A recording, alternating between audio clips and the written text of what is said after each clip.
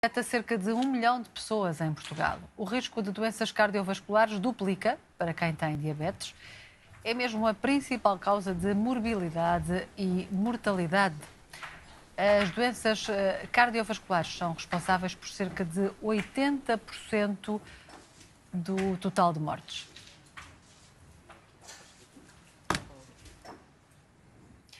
Em direto da redação da RTP no Porto está agora o cardiologista Ricardo Fontes de Carvalho. Ricardo, há aqui uma íntima relação e perigosa entre a diabetes e as doenças cardiovasculares.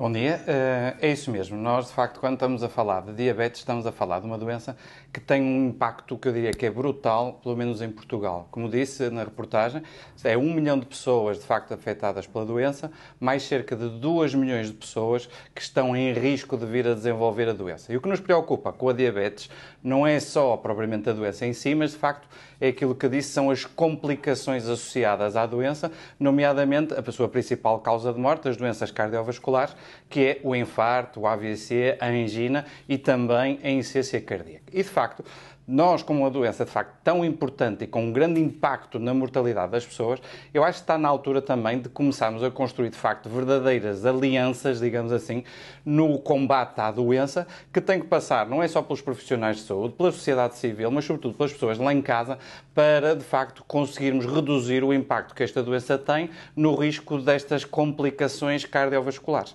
Agora pergunta-me assim, como é que isto se consegue em termos práticos? Quais é são as mesmo, é principais é linhas calhar, de intervenção. Eu diria que a primeira linha é a prevenção da doença. Nós, de facto, uma doença tão frequente, não basta apenas tratá-la, não é? Nós temos que promover a saúde, não é só tratar a doença, e, de facto, passa muito pelo combate a uma epidemia em Portugal, que é a obesidade, que está muito ligada à diabetes e que depois vai eh, causar a doença cardiovascular.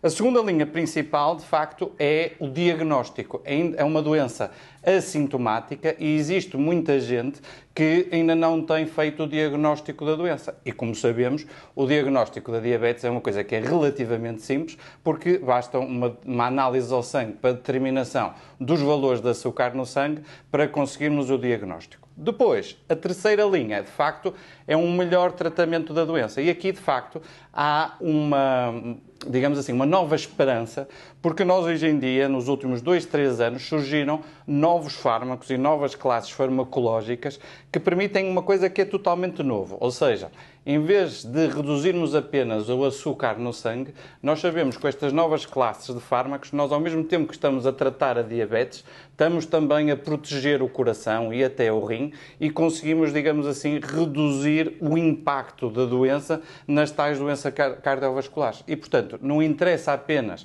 baixar o açúcar no sangue, mas interessa a forma como se baixa o açúcar no sangue e, de facto, estas novidades que têm vindo a surgir no tratamento da diabetes estão a alterar o paradigma da compreensão da doença, mas também o próprio paradigma de tratamento da doença e claramente trazem uma nova esperança para reduzir aquilo que falou logo no início, ou seja, o impacto da diabetes no risco da doença cardiovascular. Ricardo Fontes Carvalho, obrigada por ter eh, estado aqui connosco no Bom Dia Portugal, a explicar então essas diferentes eh, vertentes da